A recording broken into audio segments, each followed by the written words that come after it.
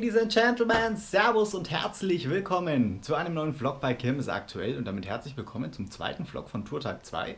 Ja, klingt komisch, ist aber so, denn das hier ist jetzt quasi dann der zweite Vlog, der zweite Part, denn ich habe ja gesagt, ich werde das Ganze aufgrund der äh, Länge des Vlogs dann einfach separieren und dementsprechend hier jetzt, ich bin angekommen in Wien, äh, in meinem Hotelzimmer, habe ich im letzten Vlog schon am Ende auch gezeigt und ich glaube, es ist das beste Hotel, was man haben kann. Ich sage es auch hier nochmal, dieser Blick auf den Wiener Prater. Heute geht es auf dem Wiener Prater. Wir haben Sonntag, es ist mittlerweile auch schon 16.30 Uhr. Der Prater scheint auch recht voll zu sein tatsächlich und ich bin eben heute bis abends um 24 Uhr am Prater und morgen dann den ganzen Tag. Morgen wird dann aber auch natürlich Tourtag 3 nochmal ein separater Vlog und heute geht es eben auf den Wiener Prater für mich eigentlich echt die letzten Jahre immer so ein Wunsch gewesen, ein Traum gewesen, endlich mal Wiener Prater. Und ich kann es selbst noch gar nicht glauben. Ich hoffe, ihr merkt es auch so ein bisschen, wie ich mich gerade richtig freue. Endlich ist es soweit, Wiener Prater. Ich freue mich riesig. Ja, ich werde jetzt gleich mal rüberschauen und äh, werde wahrscheinlich erst einmal geflasht sein. Dementsprechend, ich weiß noch nicht, wie viel ich jetzt tatsächlich wirklich vlogge in dem Sinne. Zum einen natürlich, weil es auch jetzt gerade noch recht voll ist. Ich denke mal, gegen Abend könnte das dann vielleicht auch ein bisschen leerer werden, dass ich da dann ein bisschen mehr vlog. Und zum anderen natürlich werde ich wahrscheinlich auch geflasht sein. Ich weiß gar nicht, was ich als erstes machen möchte, fahren möchte und so weiter. Wetter passt ja jetzt auch zum Glück wieder. Äh, dementsprechend, das wird auf jeden Fall richtig, richtig cool werden. Und ich weiß auch noch nicht so ganz, wie ich die Vlogs jetzt vom Wiener Prater her aufbaue. Nicht so wie in den Freizeitparks, wo ich quasi dann, ja, jetzt sind wir das gefahren, jetzt fahre ich das, dies, das. Weil wenn wir das da machen, dann geht der Vlog drei Stunden. Weil ich habe irgendwie 40 Sachen oder so auf meiner Liste, die ich da fahren möchte. Dementsprechend könnt ihr euch vorstellen, wenn ich dann immer so eine Minute davor und danach was erzähle, wird äh, der Vlog sonst viel zu lang. Dementsprechend kann es natürlich auch sein, dass ich euch einfach in der Hinsicht hier ein bisschen so mitnehme, ab und zu halt mal berichte und einfach so ein bisschen Impressionen auch zeige vom Wiener Prater natürlich. Und dann halt wirklich immer nur so nach ein paar Fahrgeschäften mich mal melde, wenn irgendwelche Highlights, sag ich mal, dabei waren, wo ich sage, boah, das war der absolute Hammer. So, ich merke schon, ich rede schon wieder viel zu viel und hätte gesagt, wir schauen jetzt einfach gleich mal rüber, sehen uns dann drüben wieder und dann mal schauen. Ich wünsche euch viel Spaß mit diesem sensationellen Vlog. So, angekommen im Wiener Prater und ich stehe hier gleich vor einem sehr, sehr bekannten Geschäft. Dr. Archibald aus Deutschland. Ja, nur leider ist dieses Geschäft außer Betrieb. Ich habe da vor ungefähr einer Woche was komisches auf Facebook gelesen, irgendwas mit Sachverhalt, sonst was. Keine Ahnung. Die haben auf jeden Fall zu. Warum steht auch nicht dran? Steht nur außer Betrieb dran. Keine Ahnung, ob es jetzt effekt ist, ob sie Corona haben oder ich weiß es nicht. Keine Ahnung. Schade eigentlich, denn die haben einen neuen VR-Film, den wollte ich eigentlich heute fahren. Aber ist halt so. Ja, es ist auf jeden Fall einiges los hier, wie schon angekündigt. Die Gassen sind ganz gut gefüllt. Und hier steht gleich ein fast schon Highlight, muss ich sagen. Ein sehr, sehr kurioses Fahrgeschäft, was einige Jahre auch nicht mehr auf Reisen war und jetzt hier im Wiener Prater steht. Ich schätze mal, da werde ich gleich mal als erstes reinschauen. Freue ich mich riesig drauf. Ihr bekommt auf jeden Fall davon auch gleich mal ein paar Online-Impressionen. Und dann hätte ich gesagt, geht's direkt los.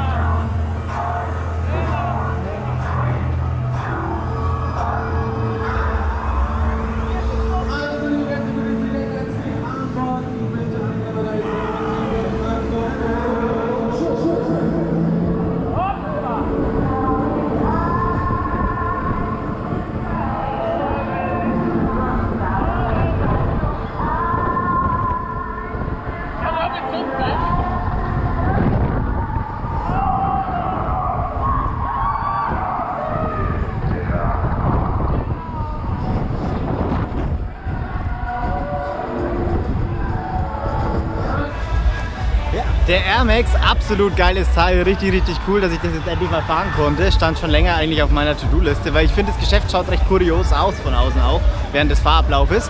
War echt richtig cool. Ja, aufgrund des Wetters, da das ja doch heute noch recht gut ist und morgen wohl auch ein bisschen Gewitter, werde ich heute jetzt erstmal versuchen, ein bisschen, sag ich mal, so die Sachen, die definitiv außen sind, zu fahren. Denn es gibt ja hier auch diverse Geisterbahnen, Dark Rides und so weiter. Das heißt, ich versuche jetzt hier auf jeden Fall mal ein paar äh, Sachen, die außen sind, mitzunehmen, auch mal ein bisschen Achterbahn eventuell zu counten. Es gibt hier nämlich, glaube ich, 14 Counts heute, wenn mich nicht alles täuscht. Komplett crazy. Aber gut, ja, ich schaue einfach mal weiter, mal schauen, was ich als nächstes fahren werde. Ich weiß es tatsächlich noch nicht, werdet ihr spontan sehen. Nein, ich bin nicht im Freizeitland Geiselwind, aber hier steht auch ein Boomerang, tatsächlich fast baugleich, außer dass hier eben noch so ein Tunnel noch mit dabei ist. Ja, da werde ich jetzt als erstes mal reinschauen. Der erste Count hier in diesem Park.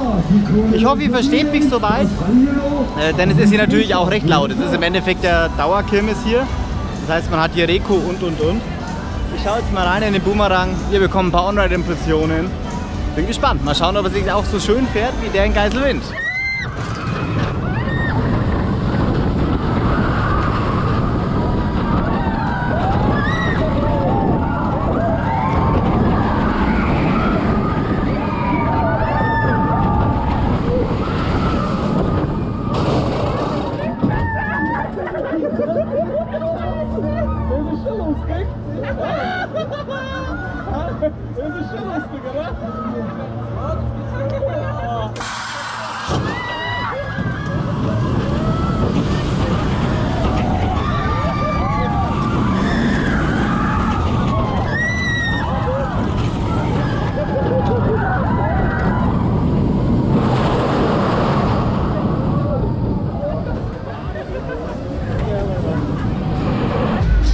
Bin ich jetzt gefahren, ja. Hat ein bisschen andere Züge fertig, dadurch finde ich auch ein klein wenig un unruhiger. Aber war trotzdem auf jeden Fall ganz cool. Das mit dem Tunnel ist ein cooles Element. Ist zwar leider nichts drin im Tunnel, aber war cool. Ja, und wenn wir schon beim Achterbahnen sind.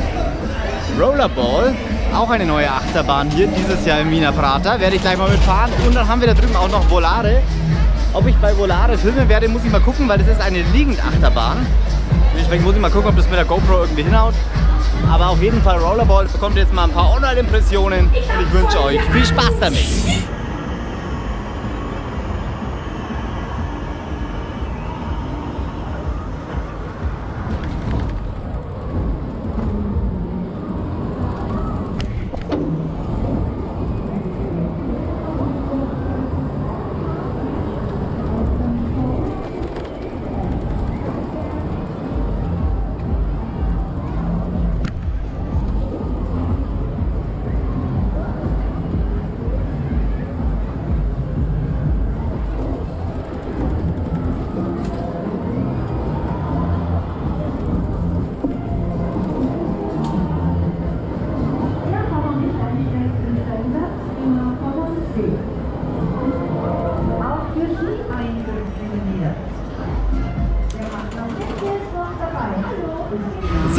Gerade Rollerball gefahren. Ja, ist ganz nett.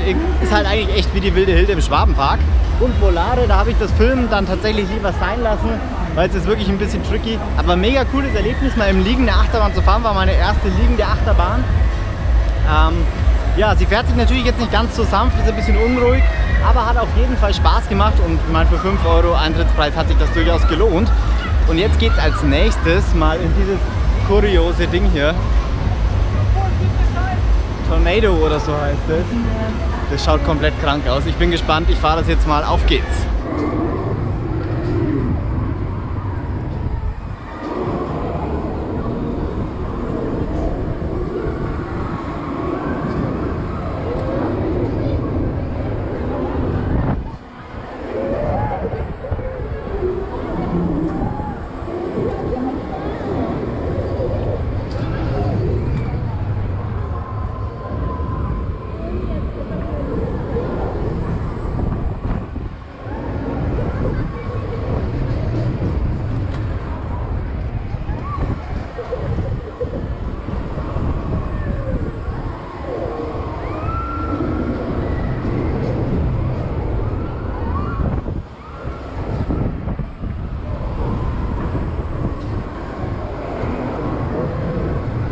Bin jetzt gerade mit Tornado gefahren. Ja, brutal geiles Teil. Also schaut von außen fast ein bisschen schlimmer aus, als es dann letztendlich ist. Ist halt eine Schaukel mit Überschlag und so.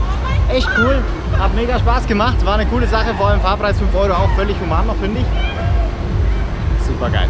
Ja, mal schauen. Ich schaue jetzt mal direkt weiter. Hab gerade schon gesehen, während ich das gefahren bin, da hinten steht schon das nächste Extreme, Ecstasy. Hat ja nicht unbedingt auch einen guten Ruf, weil schon vieles passiert ist auch bei diesem Geschäft. Mal schauen. Ich denke trotzdem, dass ich ein Ründchen mitfahren werde. Ich guck mal hin. Thank you.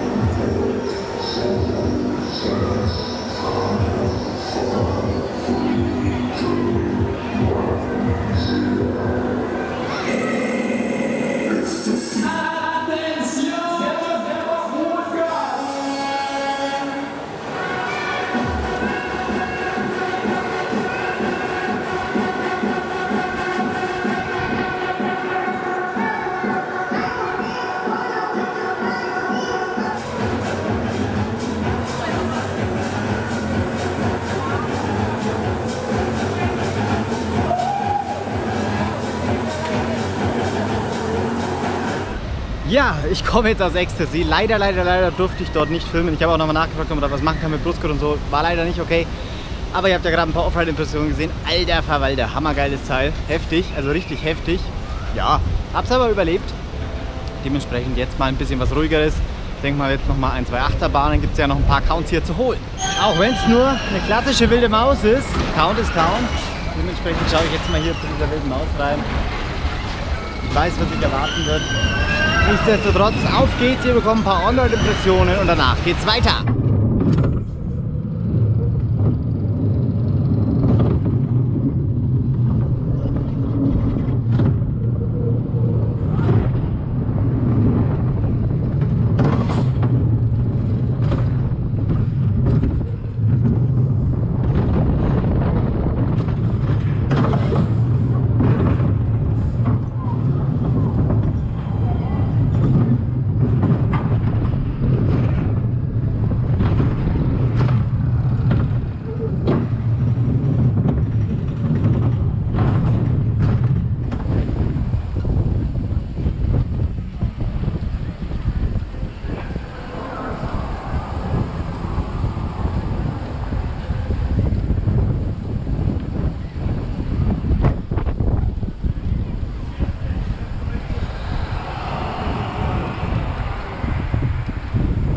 Bin jetzt gerade im Anschluss noch den Praterturm hier gefahren.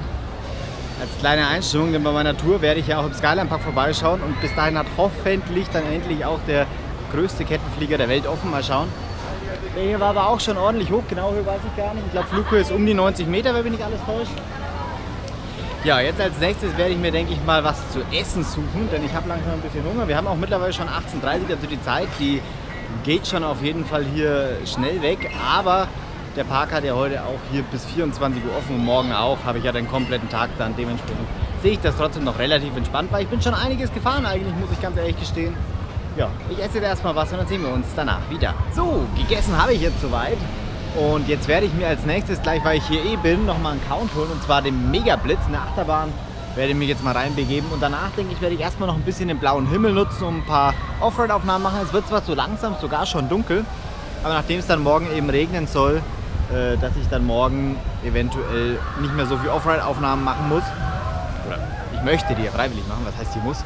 Ähm, und morgen dann eben auch eher die ganzen Indoor-Attraktionen fahre. Es soll nämlich erst abends wohl regnen. Das heißt, nachmittags habe ich dann auch noch mal Zeit in Ruhe, ein paar Attraktionen außen zu fahren. Dementsprechend sehe ich das jetzt heute schon noch relativ entspannt. Und ich freue mich vor allem, wenn es dann dunkel wird, wie der ganze Prater hier so im Dunkeln ausschaut. Bin ich echt sehr, sehr gespannt drauf. Also, dann geht es jetzt rein in den Megablitz. Ihr bekommt ein paar Online-Impressionen. Viel Spaß!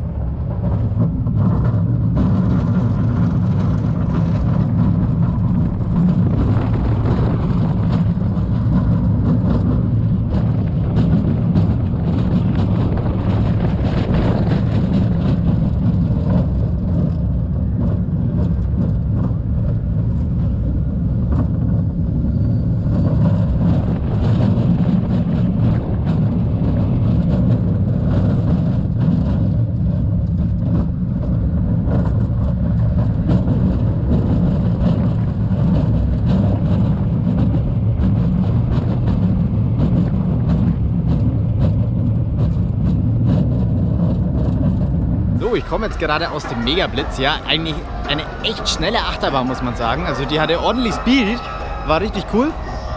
Ja, jetzt wie gesagt nutze ich das Wetter noch ein bisschen und mache jetzt erstmal ein paar Offride-Aufnahmen. Das heißt, ihr bekommt jetzt einen kleinen Offride-Mixtape und dann melde ich mich später wieder, wenn ich dann wieder was fahren werde. Weil es steht ja trotzdem noch einiges auf dem Programm. Und ja, dann wünsche ich euch jetzt viel Spaß mit den Offride-Impressionen und wir sehen uns später wieder.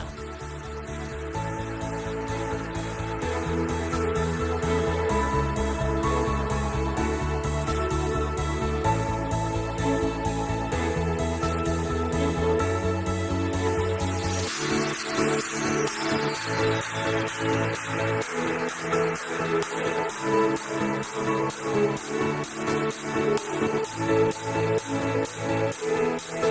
you.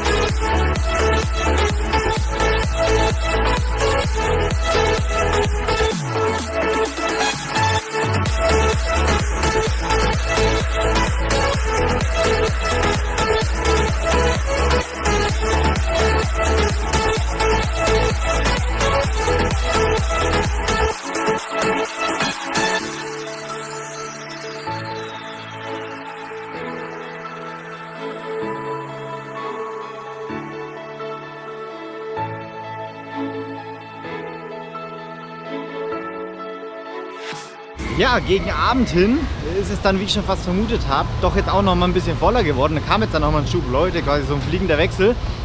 Es ist jetzt auch tatsächlich schneller dunkel geworden als erwartet. Also es wird ja jetzt hier gerade schon richtig dunkel. Deswegen, ich bin jetzt hier auch mal kurz hier wieder entlang, weil es hier einfach ruhiger ist zum Vloggen als da drin, wo überall Remi Demi ist. Die Achterbahn hier, die gesenkte Sau, die neu hat, hat leider auch zu. Der Eurocoaster hat zu, Dr. Archibald hat zu. Und beim Eurocoaster war an der Kasse so ein Versiegelungsding drin von der Behörde von Wien, sonst was irgendwie, dass die deswegen geschlossen haben, keine Ahnung. Ich weiß nicht, ob die anderen Attraktionen deswegen auch zu haben, keine Ahnung, ob das was mit Corona zu tun hat, Hygienebestimmungen, ich weiß es nicht. Alles nur Spekulationen. Auf jeden Fall hoffe ich, dass äh, irgendwas davon vielleicht morgen auch offen hat. Also Dr. Archibald und Eurocoaster, nachdem da auch so ein Dings da dran ist, gehe ich jetzt mal nicht davon aus. Aber ich hoffe zumindest die gesenkte Sau, dass die morgen mal offen hat. Weil den Count möchte ich mir eigentlich schon holen. Eurocoaster, den Count habe ich ja schon. Das wäre wurscht. Ja, ich werde jetzt, denke ich mal, äh, noch ein bisschen Aufnahmen machen von den Geisterbahnen von außen, schon mal jetzt dann im Dunkeln. Und ich denke dann tatsächlich auch mal in die ein oder andere Geisterbahn reinschauen, könnte ich mir vorstellen.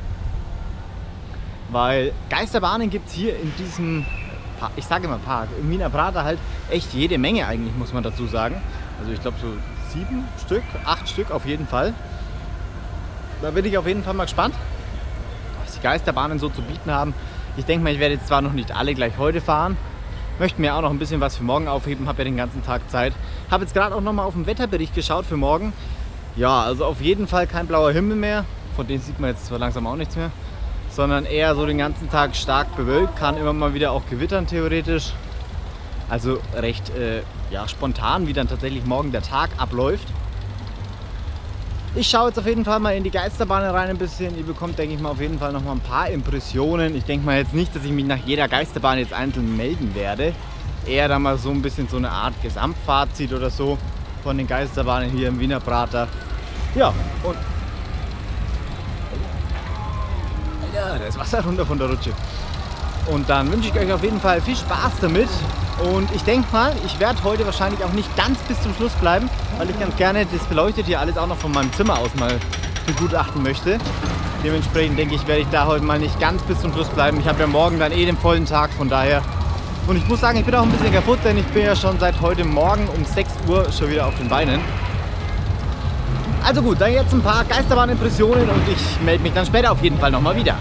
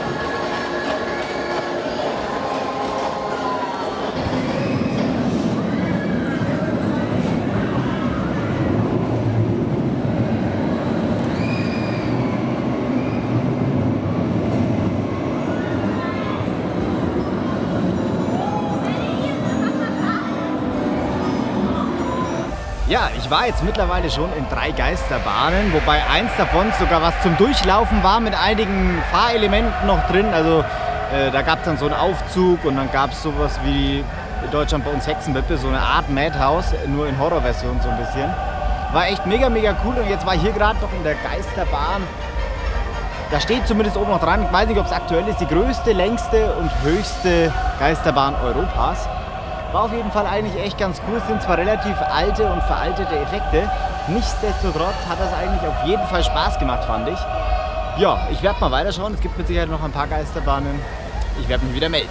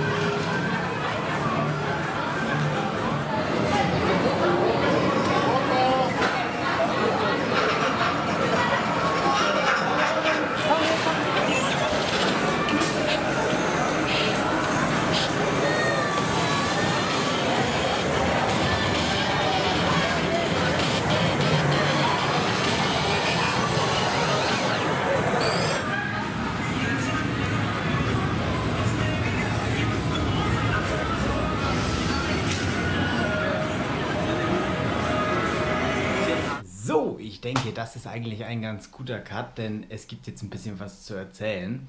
Ich bin jetzt gerade zuletzt äh, die Geisterbahn Hotel Psycho gefahren. Dort durfte ich euch leider keine Online-Aufnahmen zeigen. Hat aber auch in der Hinsicht einen ganz bestimmten Grund. Also was ich da jetzt gesehen habe, Lecco Mio. Meiner Meinung nach die beste Geisterbahn der Welt. Keine Ahnung, kann ich nicht beurteilen, aber die beste Geisterbahn auf jeden Fall, die ich bisher gefahren bin. Und was da passiert, ist sensationell. Die Gondeln, die können sich drehen. Animatronics aus Amerika, ein Traum. Die, ach, die Achterbahn, sehr schön. Der Geisterbahnwagen bleibt stehen. Also das war der absolute Hammer. Das war so genial. Vor allem die Fahrt hat auch richtig, richtig lang gedauert. Also ohne Scheiß ungelogen. Ich schätze mal so vier, fünf Minuten bestimmt. Also richtig, richtig, richtig, richtig geil. Was es da am Prater alles so zu sehen gibt, Wahnsinn, Leute. Und das war jetzt erst so der erste Abend im Endeffekt, weil morgen habe ich ja dann nochmal den kompletten Tag, wo ich mich schon sehr darauf freue. Ihr seht hier im Hintergrund, ja, noch leuchtet alles. Halbe Stunde oder so hat das Ganze jetzt noch offen. Ich habe, wie gesagt, jetzt heute mal ein bisschen früher dann äh, hier den Weg zum Hotel aufgesucht, weil ich bin tatsächlich echt K.O. Ich werde jetzt noch ein bisschen Videoschnippeln gleich und das ganze Material von heute natürlich alles auch sichern auf dem Laptop. Und dann geht's morgen weiter von 11 Uhr bis 24 Uhr Wiener Prater. Wahnsinn. Ja, ich hoffe, dass euch der äh, heutige Vlog hier gefallen hat vom Wiener Prater. Bedanke mich an dieser Stelle recht herzlich fürs Zuschauen und dann beim nächsten Vlog natürlich wieder einschalten, wenn ihr mehr davon sehen wollt. In diesem Sinne Dankeschön fürs Zuschauen. Bis zum nächsten Video. Ciao, macht's gut, Leute.